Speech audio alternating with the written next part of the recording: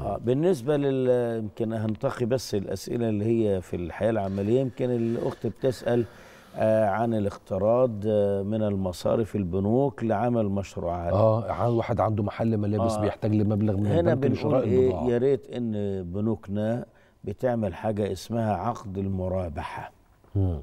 عقد المرابحة يعني بعد بدلا أن تعطيه نقودا ممكن إن هي تتولى الشراء ال- البضاعة وتبيعها له آه، نظير عائد معين للبنك بنسميه عقد المرابحة.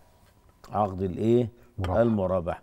وأ- وأيضا في ابحاث الآن في الاقتصاد المعاصر اسمه عقد التمويل أو الأمر بالشراء مرابحه ده بحث عندنا في جامعة الأزهر ممكن.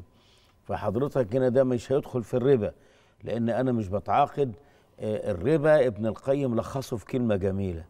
قال خلي بالك إذا كان سلعة أمام مال لا يوجد ربا. لا يوجد إيه؟ ربا.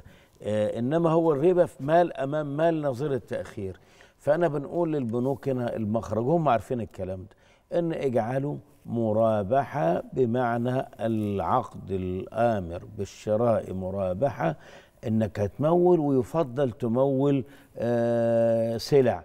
زي مثلا حضرتك آه مواطن أراد أن يشتري آه سيارة. فالبنك بي بيقول له هات المواصفات ويروح لمعرض من المعارض ويسدد للمعرض وبعدين بيدي أمر للعميل إنه يذهب إلى المعرض يستلم السيارة ثم يقسط للبنك. صحيح. هذه معاملة جائزة جائزة جائزة ويقاس عليها كل شيء. يقاس عليها مثلا التمويل العقاري. آه. هذا جائز. خدت بال حضرتك. حلو. المصانع اللي هي بتنشأ وتحتاج إلى آلات. آه. كل ده آه، الحمد لله رب العالمين اسمه عقد مرابحة جائز جائز جائز. الممنوع اللي هو مال أمام مال وبعدين في فوائد نظير التأخير ده اسمه ربا النسيئة. ده محرم.